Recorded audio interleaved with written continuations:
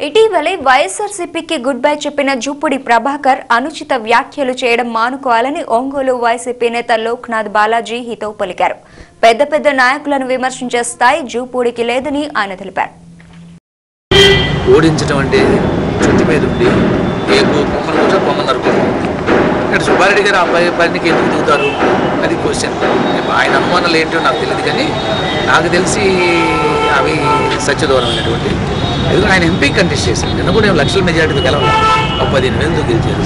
ఏమాత్రం పొరపాటు చేస్తే తన సీటు కూడా పోదు కదా అందుకని అక్కడ ఏదైనా లోపాలు జరిగి ఎవరైనా కార్యకర్తలు అక్కడ ఉండే రెండు ఉన్న పొరపాట్లు చేసి అక్కడ ఉండే వ్యక్తిగత గ్రూ- గ్రూపులు దర్శనలతోటి వాళ్ళు పెద్దవాళ్ళ పేర్లు ఆడుకొని వాళ్ళు ఇతరుల లీడర్షిప్ నాయకత్వ లీడర్షిప్కి చెడపడేయడం తప్ప స్వతహాగా సుబ్బారెడ్డి గారు ఆ చర్యలు ఎందుకు దిగుతారు ఆలోచన ఎందుకు చేస్తారు?